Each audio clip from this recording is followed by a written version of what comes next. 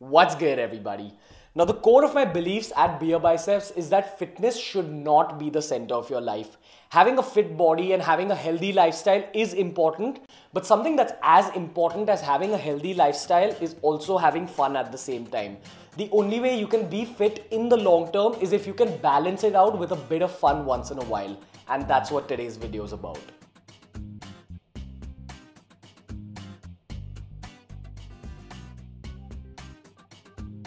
Now, my personal opinion is that food is one of the most beautiful things in the world.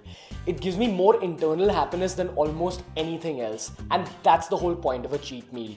You gotta understand that first and foremost, your cheat meal is to satisfy your mental craving. It's to satisfy that craving for happiness that you're getting inside your head. So, in today's video, I will give you guidelines on how to go about a healthy cheat meal and how to make healthier food choices but first and foremost, if you're craving something and if for most of the week you're eating healthy, you gotta understand that you deserve that cheat meal. So don't think too much about all these guidelines. This is just to take it to that next level in terms of health if you're super serious about your cheat meals. Now, in one of my past videos called the Cheat Meal Guide, I've spoken about the technical side of cheating on your diet. I've spoken about how you can enjoy a cheat meal without getting fat, how you can manipulate your calories. It's kind of a technical video. And today's video is not that technical, it's more on the fun side. The rule number one of making better food choices is not looking at food as just food whenever you're looking at food, you gotta break it down into its constituent macros. That's how you decide if something's healthy or not. So when you're eating a burger, it's not just a burger. It's two slices of carbs and one slice of protein and all that fat you're getting from the sauce. That's called having correct macro vision. So I'm to use the power of Beer Biceps Macro Vision and break down some common cuisines to help you make better food choices. Here we go. Starting with the unhealthier options for a cheat meal, the worst of which are desserts. Now, I'm not going to dwell too much on desserts because I've already spoken about desserts a lot on Beer Biceps. But for now, all you need to know is that desserts, it's not just the sugar that's the bad part. Desserts are also made up of a lot of dirty fats and a lot of dirty carbs. So you gotta understand that it's the sugar, the dirty carbs, and the dirty fat that are working together and keeping you fat. If you wanna get lean, the first step is giving up desserts entirely. Even when it comes to cheat meals, I'd still say avoid all forms of dessert. Cheat meal option number two, slightly better than desserts, but still very much on the unhealthy side, is all vegetarian Indian junk food. Now, I'm not dissing vegetarians or Indian food here, but you gotta understand that things like sev puri, pav bhaji, pani puri, or basically any chaat you're getting on the road is not the healthiest option. Now, there's a few reasons why veg junk food in India is unhealthy. The first of which is the abundant use of fried elements. I don't even need to talk much about this. The second is the abundant use of maida or refined flour. The third is the super high amount of fat that's used in preparing these food items. And the fourth, which I feel is a very important factor, is the lack of protein in these food items. Now, whenever you're eating something like a sev puri or a pav bhaji, where's the protein? You're just having potatoes on refined flour, and to make it worse, that refined flour is deep fried. You're not getting anything, you're not adding any value to your body. So, from that perspective, it's not a very wise option. So for all you vegetarians out there, I'm not telling you to not have junk food, but the solution to this is that wherever you can, try getting a bit of protein in these junk food meals. Remember, when it comes to veg junk food, it's all about making smarter decisions. So if you have to make a decision between a pav bhaji or a paneer bhurji, always go for the paneer bhurji. It's giving you that little extra bit of protein, which is adding some value to your overall nutrition. The third type of cuisine we're talking about is my personal favorite. It's Indian Chinese food. Now you gotta understand that traditional Chinese Chinese is actually super healthy. A lot of the focus is on the protein and on stir frying the protein with just a little bit of oil, and a lot of focus is on the vegetables. But Indian Chinese food is the slightly tastier, slightly unhealthier version of this traditional goodness. Now, there's a few reasons why Indian Chinese food is still on the slightly unhealthy side of the spectrum. The first of which is the heavy use of MSG or Ajinomoto. I'm not gonna get deep into it because Ajinomoto actually deserves its own video. But you gotta understand that it's one of the most harmful substances used in Chinese cooking. It does enhance the flavor a lot, but it is doing some amount of damage to your body. The second reason Indian Chinese food is not the healthiest option is the heavy use of oil and masalas used in Indian Chinese cooking. Especially if you're having cheap Indian Chinese food, there's a very high possibility that the oil that they're using isn't of a very good quality Remember, even they try to save costs, they're running a business, and in the process, you're ingesting a bad kind of fat. The third reason Indian Chinese cooking is not the healthiest option is the heavy use of sugar.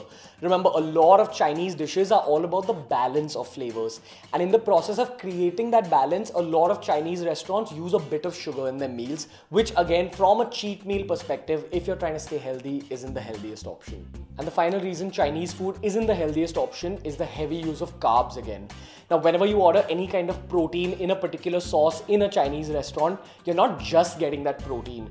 Before they put the protein in the sauce, they first deep fry it with a coating of carbohydrates. So you're getting that carb coated protein and then you're eating it with rice. So again, this becomes a carbs with carbs situation. So it's not the healthiest in terms of weight loss. The next cuisine we're talking about is American junk food. And yes, it is marginally better than Chinese junk food in my opinion. Now, here's the thing about American junk food. Yes, the focus is on the carbs, it's on the bread in the burger and the bread in the pizza, but you have the choice of turning the focus to the protein. So, whenever we're talking about American junk food from a health perspective, there's a few rules you need to follow to make it slightly healthier. Again, the first of which is that you focus on the protein.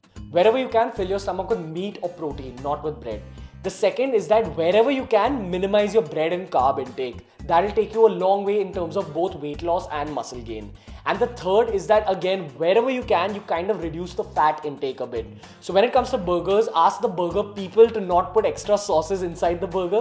And when it comes to pizzas, when the pizza arrives at your table, you can actually dry off a bit of the fat with a tissue paper. That'll reduce the overall caloric intake of the food a lot. Okay, so coming back home a little bit and turning our attention to Indian food.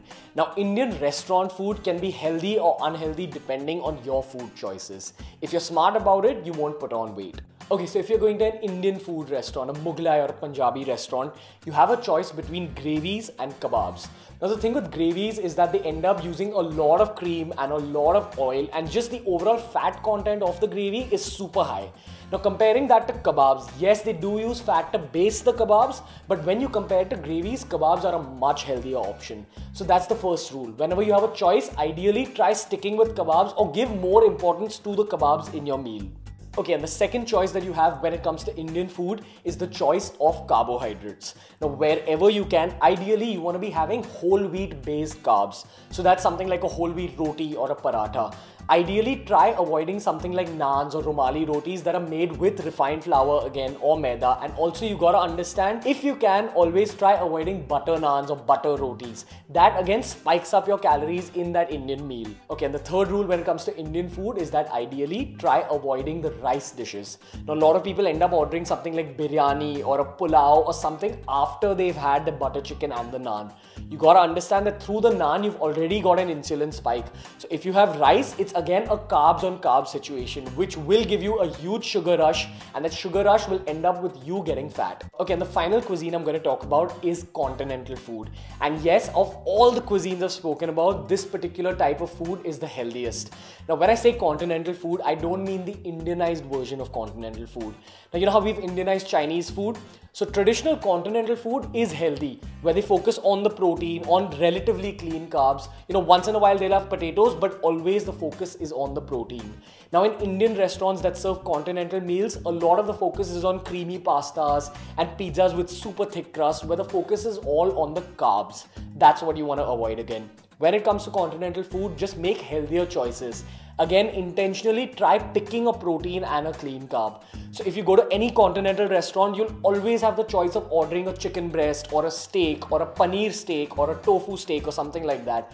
Always, wherever you can, focus on the protein. Your protein should be the center of your meal, and your carb should just be the Robin to the Batman. And that pretty much covers it all in terms of the cuisines that are commonly found in India. But you gotta understand that whenever you're talking about a cheat meal, if you're actually serious about making it super healthy, the best option is cooking it up yourself. And that's where I feel that cooking and fitness go hand in hand. Now, given you guys all these guidelines about eating out at a restaurant, but you gotta know that restaurants make money from serving good food. And good food most of the times equals a lot of high fat. And very often in Indian restaurants, what happens is that they try to save costs by not using good quality fats. From that perspective alone, anything that you cook up with home friendly, healthy fats like ghee or coconut oil is much healthier than the dishes you eat at the restaurant. And remember, guys, if you learn how to cook well, you can actually create restaurant quality food at home. Yes, even if the fat content is a little high, anything homemade is always much healthier than eating out at a restaurant. Hey guys, so that was the video for today. If you liked it, make sure you give it a thumbs up. Now you gotta understand that there's a reason I put up cooking videos on Sundays. What I honestly feel is that cooking and food are as much a part of fitness as weight training and dieting are. And I feel like if you know how to cook, it's a very, very powerful tool to have to maintain a long-term fit lifestyle. So from that perspective, what I'd highly recommend is that if you're new to cooking, make sure you check out my recipes playlist on Beer Biceps. Most of the recipes are super easy and I feel that it's a great starting point in beginning your cooking journey. And you know what else? Girls love a guy who can cook. Either way, guys, if you want to follow my personal fitness journey, make sure you follow me on Instagram at Beer Biceps, on Snapchat at Ranveer.1693. That's my Facebook page. Make sure you give that a like as well. So until next time, guys, from Ranveer, see you.